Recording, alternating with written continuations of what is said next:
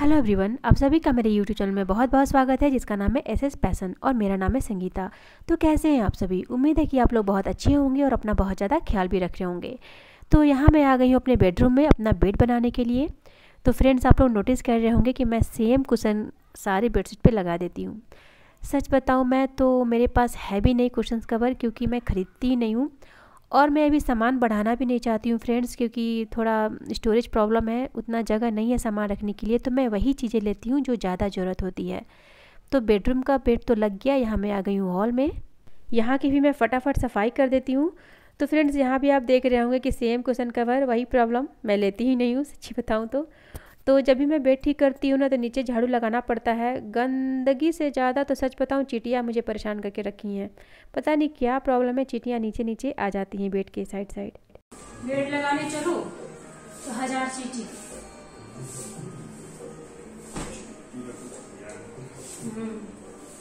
लेकिन इसी वर्षा बढ़ा बरसात के कारण बढ़ा हुआ है और क्या? इतनी बारिश हो रही है। बारिश हो रही है प्लस यहाँ पे क्या बोलते हैं? आम का पेड़ है ना बगल में, उसी से मेन रीजन वही हो। कितना भी साफ़ सफ़ाई कर लो चिटियाँ आ ही जाती हैं। पता नहीं क्या अच्छा लगता है उन लोग को। तो अभी सच बताऊँ फ्रेंड्स मुझे बोलने में थोड़ी प्रॉब्लम हो रही है, क्योंकि मेरे गले में ना थोड़ा दर्द है। पता नहीं क्यों हो रहा है मतलब मेरी मम्मी कहती है कि जब गले में बाई चांस गलती से कोई बाल चला जाता है तो दर्द होता है। मुझे लग रहा है वही हुआ है। तो होता है ना, एक टोटका होता है, गले से, गले पे लोहा से ऐसे घिसा जाता है, वो मैं कर ली हूँ सुबह खाली पेट। अब देखती हूँ कब तक ठीक होता है। नहीं ठीक होगा तो डॉक्टर को दिखाना पड़ेगा। तो यहाँ मैं आ गई हूँ कपड़ा फोल्ड करने के लिए। दो तीन दिन से ये कपड़ा ऐसे ही लटक रहा था, क्योंकि यहाँ वेदर बहुत ख़राब रहता है, धूप निकलता ही नहीं है तो कपड़े सूखते नहीं हैं।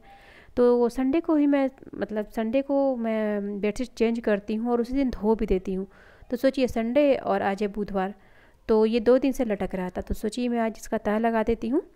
तो जब भी मैं बेडशीट लगाती हूँ ना तो साथ में तकिया भी का खोली भी अंदर रख देती हूँ ताकि जब भी बेडशीट लगाने जाओ तो तकिया खोली भी साथ आ जाए, नहीं तो पता चला खोजते रह रहे हैं, तकिया खोली कहाँ गया, तकिया खोली कहाँ गया। तो इसमें मेरे और मेरे हस्बैंड दोनों का कपड़ा साथ में है, लेकिन मैं अलग अलग फोल्ड करती हूँ और अलग अलग रखती भी हूँ कबड भी हमारा अलग अलग है। क्योंकि होता क्या ना, अगर साथ में गलती से मेरा कपड़ा चला गया हस्बैंड के हस्बैंड का क्या है कि अपना एक टी शर्ट निकालने जाएँगे पीछे से दो टी शर्ट गिरा देंगे। पता नहीं लड़के लोग इतने केयरलेस होते हैं या फिर मेरे हस्बैंड के साथ ही ऐसा है मुझे नहीं पता। वैसे मुझे प्रॉब्लम नहीं होती है मैं कर लेती हूँ। तो यहाँ मेरी मेड भी आ गई है सारा काम तो हो चुका है बस घर में झाड़ू पोछा बर्तन लगना बाकी है। तो ये भी काम करके अब जाएगी। तो फ्रेंड्स आज मैं आप लोग के साथ एक रेसिपी शेयर करने वाली हूँ तो वीडियो में बने रहिएगा आप लोग। ठीक है बाय आंटी वैसे ये मेरी मम्मी की रेसिपी है तो सोचिए मैं आप लोग के साथ भी शेयर कर दूँ। तो तेल के गर्म होते ही इसमें तीन से चार आप लोग को डाल देना है लहसुन, जीरा, एक तेज़पत्ता और दो लाल मिर्च। और जब ये अच्छे से तड़क जाए तो इसमें तीन मीडियम साइज़ के प्याज को लंबा लंबा काट के थोड़ा पतला ही काटिएगा ताकि अच्छे से गल सके। थोड़ा सा नमक डाल के इसे ब्राउन होने तक भून लेना है। तो ब्राउन ज़रूर कीजिएगा इस तरह से। अगर प्याज को कम भूनेंगे ना तो जैसे ही मशरूम डालेंगे, प्याज सफ़ेद सफ़ेद दिखने लगेगा। एक चम्मच भर के लहसुन अदरक का पेस्ट डाल देंगे और लहसुन अदरक को कुछ सेकंड के लिए ज़रूर भूनिएगा ताकि उसका जो कच्चा फन है वो चला जाए। मशरूम डालने के बाद इसे भी एक मिनट के लिए हाई फ्लेम पे भूनना है और फिर गैस का फ्लेम लो करके 10 मिनट के लिए इसे कवर करके इस तरह से भूनेंगे ताकि मशरूम हमारा अच्छे से लाल हो जाए। बिल्कुल चिकन वाला प्रोसेस है फ्रेंड्स और बनता भी कुछ वैसा ही है। अब इसमें मसाले डाल देंगे तो वन फोर टी स्पून हल्दी पाउडर, एक छोटी चम्मच धनिया पाउडर, आधी छोटी चम्मच जीरा पाउडर और आधी छोटी चम्मच कश्मीरी लाल मिर्च डाल देंगे। कुछ सेकंड के लिए भूनेंगे थोड़ा सा पानी डाल के मसालों को और अच्छे से भून लेंगे।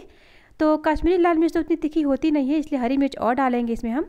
तो हरी मिर्च डाल देंगे थोड़ा सा चिकन पाउडर और घर का गर्म मसाला डाल देंगे। थोड़ा सा नमक डाल के मसालों को अभी और हम पाँच से सात मिनट के लिए भून लेंगे कवर करके। गैस का फ्लेम लो ही रखिएगा।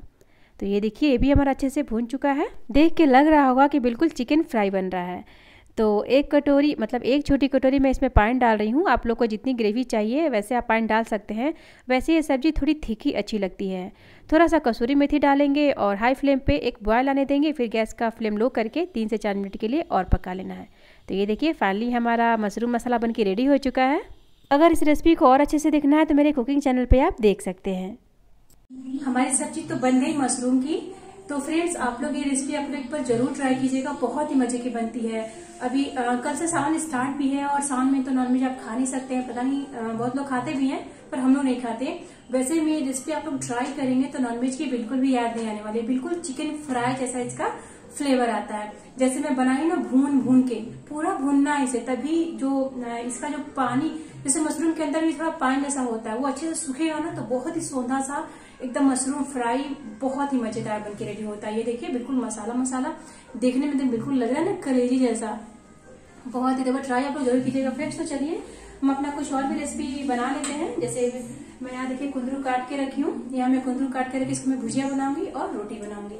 तो फटाफट ये भी काम मैं फिनिश कर लेती हूँ। तो तेल में थोड़ा सा जीरा का फ़ौरन लगा देंगे और कुंदरू के साथ मैं हरी मिर्च को भी काट के रख ली थी तो दोनों को साथ में डालेंगे और इसमें कुछ ज़्यादा नहीं डालना होता है, बस हल्दी और नमक। और इसे लाल होने तक भून लेना होता है। तो बहुत ही सिंपल है गाइज़ और ये बनता बहुत अच्छा है। तो एक बार आप इस तरह से कुंदरू का भुजिया ट्राई कर सकते हैं। बहुत मज़े की बन के रेडी होती है। तो जब तक हमारा कुंदरू बनेगा, साइड से मैं रोटी बना ले रही हूँ, ताकि दोनों काम साथ साथ हो जाए। कुंदरू लो फ्लेम पे पकता है तो समय लगता है तो मैं सोची तब तक अपना रोटी भी बना लूँ साइड से। मुझे एक बात पूछनी थी फ्रेंड्स कि वीडियो के लिए म्यूज़िक कहाँ से ले? क्योंकि मैं जब भी कोई म्यूज़िक लगाती हूँ ना, तुरंत कॉपीराइट आ जाता है। और ऐसा नहीं है कि मैं कहीं से ही म्यूज़िक उठाती हूँ। मैं वहीं से लेती हूँ जहाँ से कॉपीराइट नहीं आना चाहिए, लेकिन फिर भी आ जाता है। तो अगर आप लोगों को कोई आइडिया हो तो प्लीज़ बताइएगा आप लोग, क्योंकि आपको मेरे वीडियो में कहीं भी म्यूज़िक सुनने को नहीं मिलेगा। तो भुजिया ही मेरा बन चुका है। तो सब्ज़ी रोटी बनाने के बाद मैं नहाने आ गई हूँ।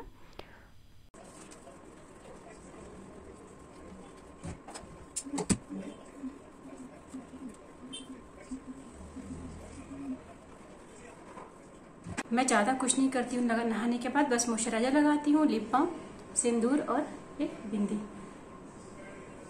यही मेरा रूटीन है। मैं फेस पे कुछ भी अप्लाई नहीं करती घर पे।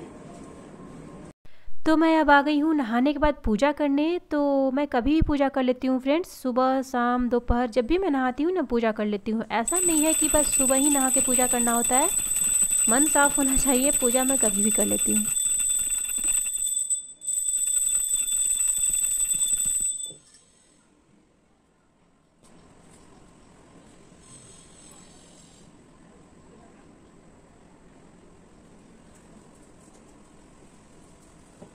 यहाँ मेरा दाल भी बन चुका है थोड़ा सा मैं बनाई हूँ और चावल भी बन चुका तो है। मैं यहाँ पे फटाफट पापड़ सेक लेती हूँ क्योंकि हस्बैंड को अचानक से पापड़ खाने का मन हुआ तो फ्रेंड्स अभी हम लोग लंच करने जाएँगे। तो उम्मीद है कि आप लोग को मेरी वीडियो पसंद आई होगी। चलिए फ्रेंड्स हमारे लंच की तो लग चुकी है तो लंच कर लेते हैं आप लोग भी लंच कर लीजिए।